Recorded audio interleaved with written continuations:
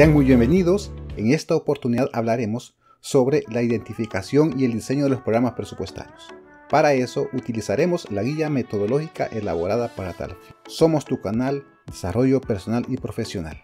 Este apartado es el primero de una serie que iremos desarrollando para entregarles completamente la información vinculada al presupuesto por programas. Ahora hablaremos sobre los aspectos generales. En las tres futuras presentaciones les llevaremos el demás contenido. Hablaremos entonces sobre los aspectos generales que rigen a el presupuesto por programas.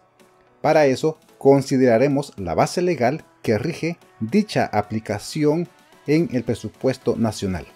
Se toma de base el aspecto legal establecido en el artículo 9 y el artículo 14 de la ley AFI, en la cual determinan la facultad que tiene el Ministerio de Hacienda y sus direcciones generales para establecer determinados elementos legales y técnicos que deben de aplicar las entidades del gobierno central y descentralizadas. Por eso, con este aspecto ellos toman de base todos los instrumentos técnicos emitidos para que las entidades los apliquen en su momento. ¿A quiénes les la aplica?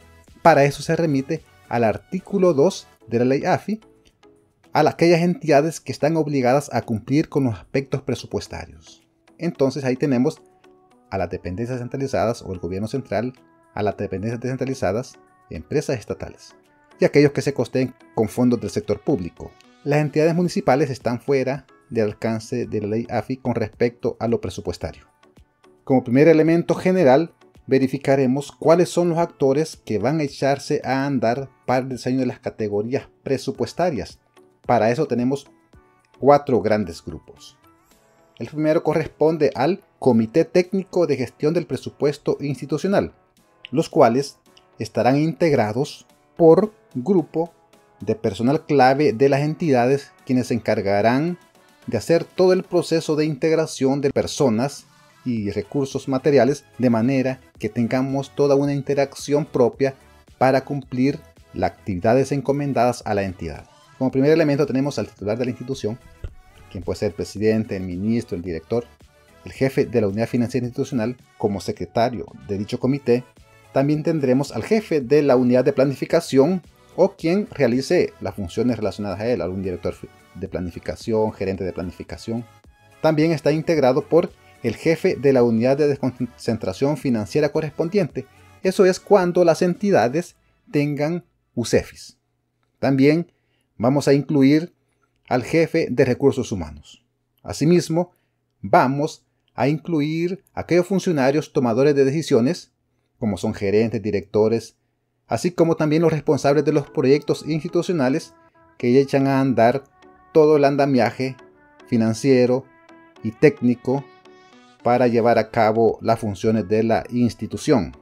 Para eso, este comité técnico va a tener que verificar y hacer todos los procesos de investigación para identificar los problemas relevantes relacionados con la función de su entidad. Las entidades van a integrar un comité técnico, pero si es necesario se integrarán más de uno. Asimismo, ellos van a monitorear el cronograma de trabajo ¿verdad? de cada uno de los equipos técnicos de diseño, así como van a supervisar su trabajo. También van a aprobar institucionalmente el diseño de las categorías presupuestarias que se remitirán a la Dirección General del Presupuesto. El otro actor es la Unidad Financiera Institucional. Es la encargada de la gestión financiera de la institución que se encarga de verificar los aspectos relacionados al presupuesto, a la tesorería y la contabilidad. El tercer actor es el equipo técnico de diseño. Para eso, estos equipos son integrados por personal clave de la entidad y que conocen de primera mano todas aquellas operaciones propias que se desarrollan en los proyectos, en las actividades, en las tareas que está llevando a cabo la institución.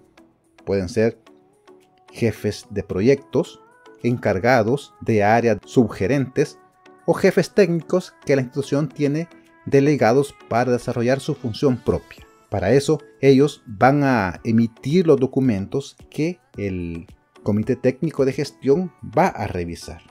Por eso, van a elaborar su plan de trabajo. Van a recopilar información que justifique el diseño de los programas presupuestarios. También ellos van a diseñar los programas presupuestarios de acuerdo a los lineamientos dados. le van a informar al titular y la DGP el avance del diseño de los programas, así como su presentación.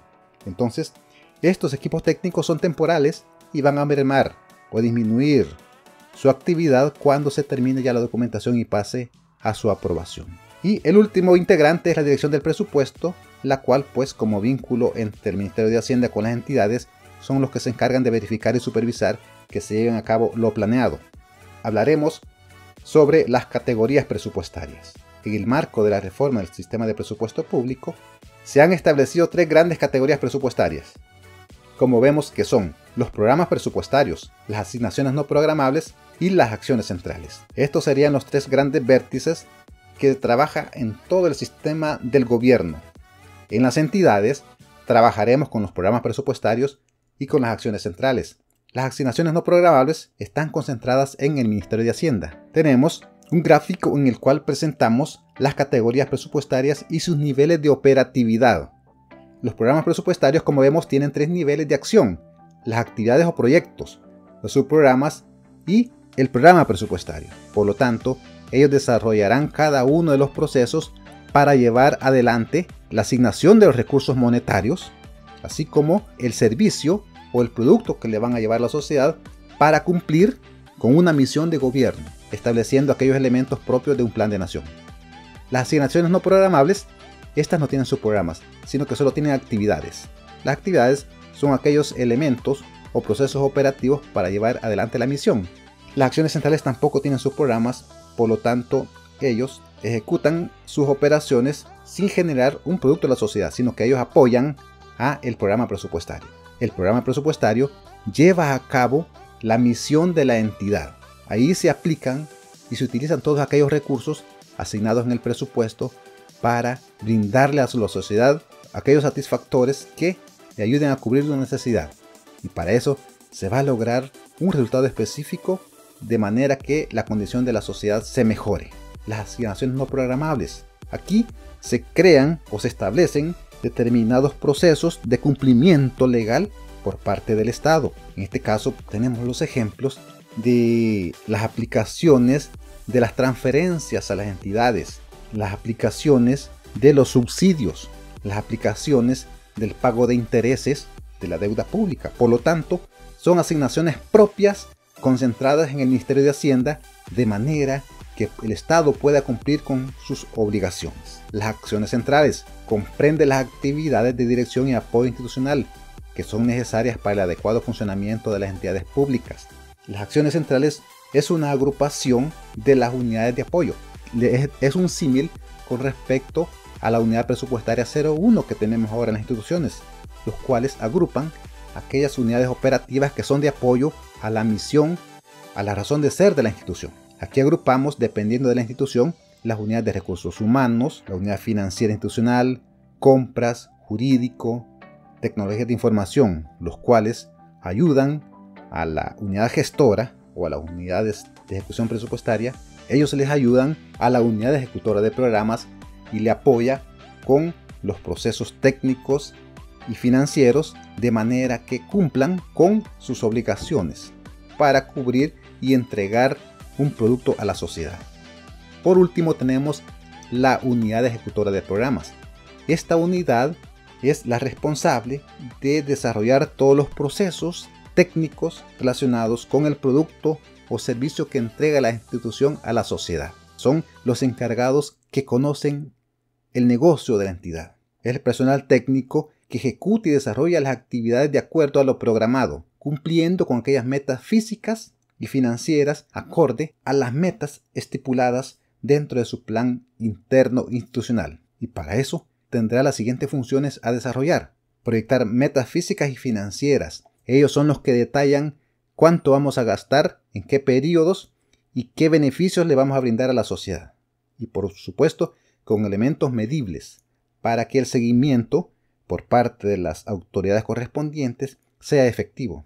También ellos van a realizar las solicitudes de la programación de la ejecución presupuestaria, así como las modificaciones al presupuesto necesarias para llevar a cabo el rol de la institución de acuerdo como fue planificado. También deben de garantizarse el cumplimiento de los elementos normativos, lineamientos, procesos, de manera que cuando lleguen las autoridades revisoras, verifiquen que todo está en regla. También ellos deben de responder al proporcionar los avances de las metas físicas.